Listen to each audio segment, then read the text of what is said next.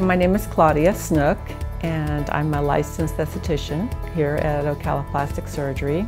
We do basic facials, we do more corrective treatments, chemical peels, we do dermaplaning, microdermabrasion, we do microneedling.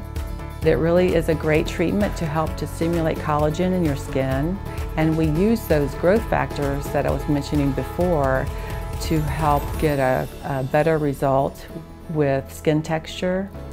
Uh, it's great for acne scarring, for aging skin. So when you come in for your consultation, I do a skin assessment and determine what type of skin you have and what your issues are, what you've previous, previously used uh, as a skincare regimen, and we work on what we can improve upon, setting the goals that are going to make them happy.